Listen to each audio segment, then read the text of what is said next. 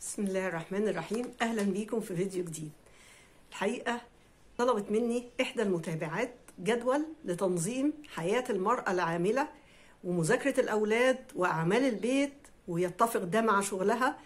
والحقيقة إن أنا طول الفترة اللي فاتت دي من ساعة ما طلبت مني وأنا بحاول ألاقي جدول ينفع كل الناس طبعا استحالة. لكن أنا جمعت شوية نقاط كده أقدر أساعدهم بيها. أنا الحقيقة عملت الموضوع ده قبل كده لكن اتكلمت عموما عن تنظيم الوقت المرأة العاملة. لكن كجدول من الساعة كذا للساعة كذا هعمل كذا ده لازم كل واحدة تعمله بإيدها. لكن في نقاط أنا ممكن أساعدك بيها على أساس تعملي انت الجدول ده حسب ظروفك وحسب وقت عملك وحسب عدد أولادك وحسب ظروفك وظروف بيتك كلها. تمام؟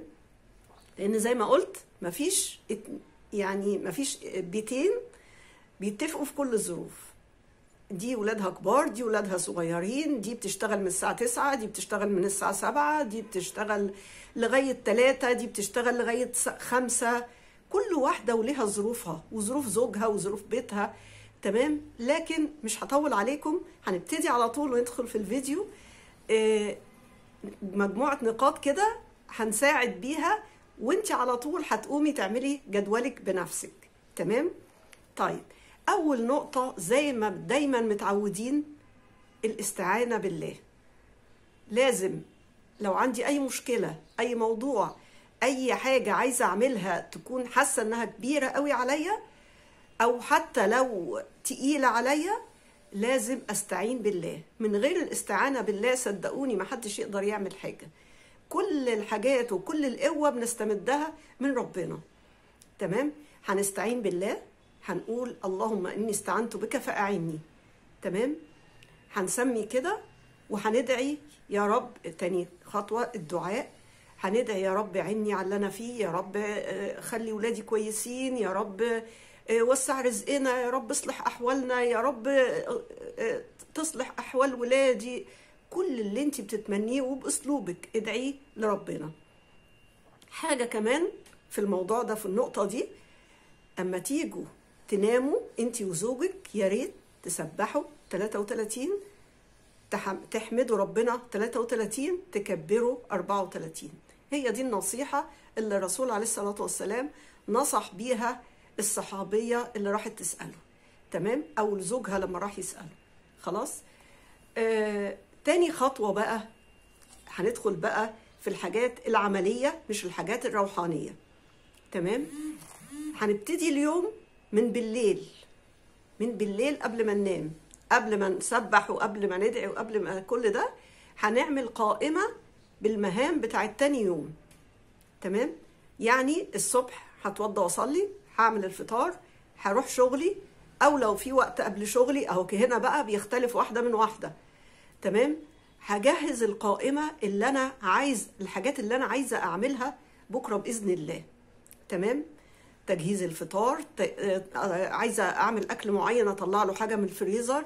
عندي أكل بايت ممكن أنزله من الفريزر للثلاجه من تحت حسب ظروف كل واحدة. تمام؟ طيب هجهز القائمة. هذاكر لاولادي إيه هعمل إيه هنضف إيه هروق إيه. كل الحاجات اللي أنا عايزة أعملها ولاقيها حاجات كتير جدا هعملها وهكتبها في صورة نقاط كده وأفرغ دماغي منها خالص. خلاص؟ تالت حاجة آه اعملي حسابك إن هو لما يكون الأكل على النار انت بتعملي حاجة تانية. يعني انت بتحطي الأكل على النار عشان يسخن بقى عشان يتطبخ عشان أي حاجة. بتروقي المطبخ مثلا. بتعملي بتغسلي مواعين بتغسلي بتروقي أوضة بتعملي أي حاجة وأكل على النار. عشان كده برضو ما ينفعش أقول من الساعة كذا للساعة كذا هعمل الغدا. ما ينفعش. لا أنا بعمل حاجتين في وقت واحد. بحط غسيل بروق حاجة بغسل مواعين أي حاجة من الحاجات دي. خلاص؟ آه، تالت أو رابع حاجة يوم الأربع اكتبي قائمة بأكلات الأسبوع و... وبالحاجات اللي ناقصة عندك. تمام؟ من الجمعة للخميس. وهقول لك بعد كده في آخر الفيديو إزاي توفري وقت من موضوع الأكل ده. تمام؟ يوم الأربع نكتب قائمة بالأكلات اللي هنعملها طول الأسبوع من الجمعة للخميس. تمام؟ رقم خمسة وانت جاية من الشغل طبعا انت كاتبة القائمة تمام؟ قائمة الأكلات. يوم الخميس بقى وانت راجعة من الشغل هاتي الخضار أو الم- المتطلبات مستلزماتك كلها وانت جاية. جزء منها ولو جوزك يقدر يجيب جزء تاني اكتبي له برضو قائمة يجيبها معاه يوم الخميس وهو جاي. خلاص؟ كل حاجة تنقص عندك في المطبخ اكتبيها علشان القائمة بتاع- بتاعت يوم الأربع دي. نقصني رز أكتبه نقصني منظفات أكتبها نقصني أي حاجة في المطبخ آه، عطارة أي حاجة هكتبها. لازم يكون في ورقة وقلم في المطبخ. تمام؟ عشان عبال ما تروحي بقى للورقة والقلم هتكوني نسيتي هتكوني شفتي أي حاجة تانية ونسيتي. أنا عارفة الكلام ده. تمام؟ رقم ستة حددي لنفسك كل يوم من ضمن المهام. انت بقى هتعملي جدولك انت عارفة هتصحي إمتى هتقومي إمتى. يا ريت تصحي بدري طبعا. آه، من الساعة كذا للساعة كذا هتحضري الفطار. من الساعة كذا للساعة كذا هتعملي إيه. كل الحاجات دي من ضمنها في أثناء اليوم حددي لنفسك نص ساعة استرخاء. مش هقول نوم ممكن ما يجيلكيش نوم لكن استرخي كده. وعلشان تفضي دماغك قوي أثناء الاسترخاء ده سبحي. اعملي لنفسك ذكر معين كل يوم بحيث إن انت تسترخي تماما وما تفكريش في أي حاجة. هتقولي أنا أولى بالنص ساعة دي. لا النص ساعة دي هتفرق معاكي كتير. هتفرق في الطاقة بتاعتك في الراحة في حاجات كتير هتفرق معاكي. وجربي بنفسك. تمام؟ رقم سبعة آه، الحقيقة النقطة دي أنا كنت بعاني منها في شبابي كنت بكركب كل حاجة يوم الجمعة. لا بلاش تعملي كده خالص. تنظفي يوم الجمعة وتغسلي يوم الجمعة وتذاكري للأولاد وكل الكركبة دي؟ لا. إحنا هنقول هنعمل لنفسنا جدول عشان نرتاح يوم الجمعة. نرتاح نفضي دماغنا شوية كده ونقعد قعدة أسرية مع بعض ونبقى مبسوطين كده ومرتاحين يوم الجمعة. ناخد أجازة إحنا كمان. مش إحنا طول الأسبوع شغالين ونيجي يوم الجمعة نهد نفسنا كمان. لا. الحقيقة الحكاية دي كانت بتتعبني جدا. فبلاش تعملي كده. تمام؟ حتى لو مش هتخرجي مع أولادك أو مع زوجك ممكن نش- نشوف فيلم مع بعض ممكن نعمل أكلة حلوة مع بعض ممكن نعمل حاجة حلوة مع بعض كيكاية تورتاية أي حاجة. المهم إن دماغنا تبقى رايقة واخدين أجازة بمعنى الكلمة أنا وولادي وزوجي. تمام؟ يبقى يوم الجمعة مش هكركب فيه الدنيا لا أنا هرتاح فيه. حتى لو عملت طبخة لكن هبقى مرتاحة كده مش هعمل 100 حاجة. طيب وانتي بتجهزي قائمة المهام بتاعت بالليل دي اكتبيها بقى بالورقة والقلم واكتبيها بالمواعيد. يعني من الساعة ستة للساعة ستة ونص هدخل الحمام. من ستة ونص لسبعة هجهز الفطار. من سبعة لسبعة وعشرة هتصحي الأولاد. وهم الأولاد في الحمام بعمل كذا. كل ده هتكتبيه في جدولك حسب ظروفك وحسب ظروف جوزك وولادك وإمكانياتك وكل حاجة. تمام؟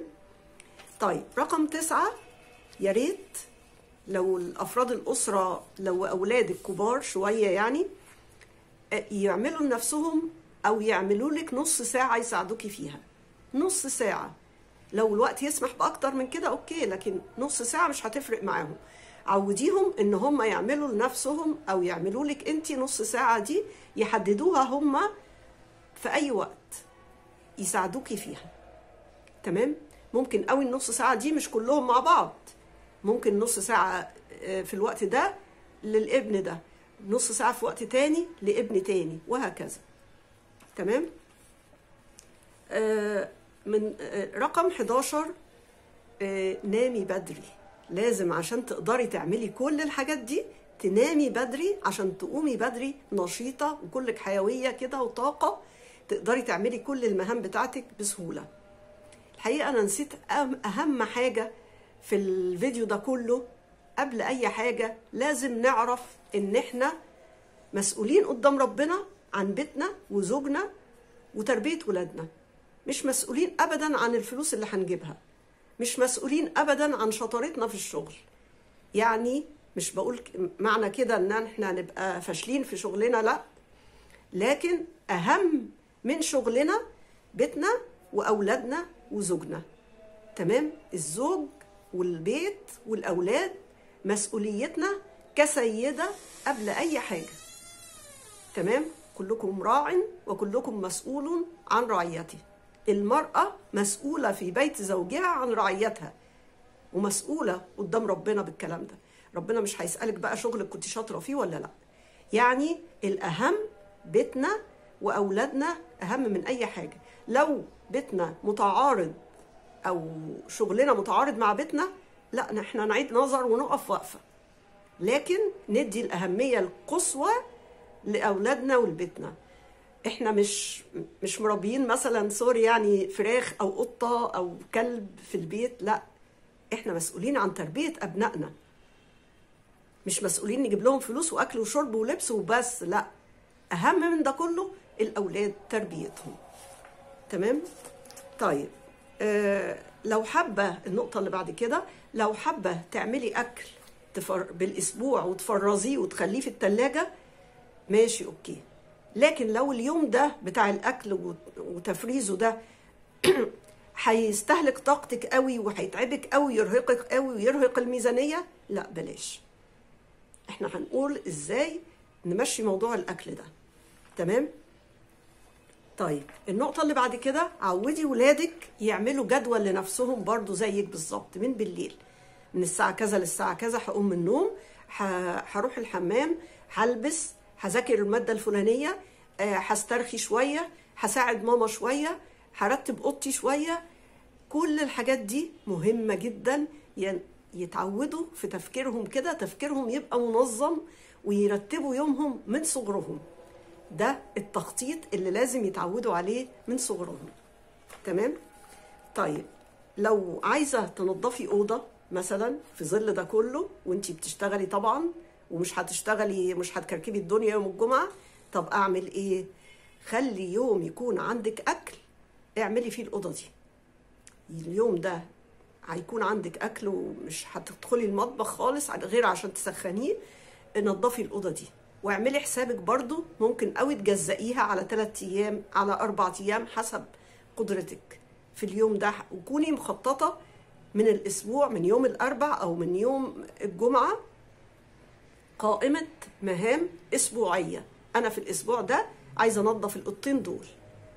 طيب هنضف الأوضة دي على ثلاث أيام ودي على يومين وهكذا. آه، عايزة أنظف الحمام. الحمام والمطبخ الحمام وأوضة معينة. كل ده من يوم الجمعة هكون مخططاه في خطة أسبوعية. هعمل كل يوم منها حاجة. تمام؟ والأيام اللي هنضف فيها هيكون عندي أكل. خلاص؟ طيب. آه، النقطة اللي بعد كده آه، يا ريت لو انت قبضتي أو معاكي فلوس يعني في أول الشهر كده عصجي كيلو لحمة مفرومة أو نص كيلو اللحمة المفرومة ده عصجيه والنص التاني اعمليه كفتة. طبعا الحاجتين دول مش هياخدوا وقت منك في يوم الخميس أو في يوم الجمعة أو في أي يوم. تمام؟ ده هيريحك جدا في أثناء الأسبوع. ممكن قوي الكفتة دي تطلعيها تسويها وتوفري يوم تكوني مرتاحة فيه. وممكن قوي العصاج ده تعمليه زي ما قلت قبل كده كتير آه، أكلات كتير تكون موفرة وتكون آه، سهله عليكي ما تخليكيش تقفي في المطبخ كتير. تمام؟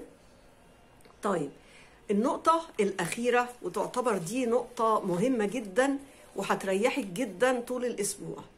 اطبخي طبخة حلوة كبيرة كده يوم الجمعة مثلا آه، خضار ولحمة آه، شوف انت بتحبي إيه. بس طبخة تكفيكي يومين. وأول ما تنزلي الطبخة دي من على النار وتبرد كده شيلي منها علبة في الفريزر. تمام؟ طيب إحنا كده شلنا علبة في الفريزر لوقت اللزوم. يوم التلات إن شاء الله اعملي برضو طبخة كبيرة. تمام؟ وبرضو لمدة يومين وشيلي منها نفس- الموضوع. كده يومين طبخنا فيهم وأكلنا فيهم أكلة كويسة بقوا أربع أيام لأن كل طبخة اليومين تمام؟ الثلاث أيام التانيين أكل اقتصادي أكل بأربع معالق لحمة مفرومة اللي هي العصاج الكفتة العلب اللي حطيتها في الفريزر. كل ده هينفعنا في الأيام التانية؟ يبقى أنا عندي أربع أيام باكل أكل كويس وما طبختش غير يومين؟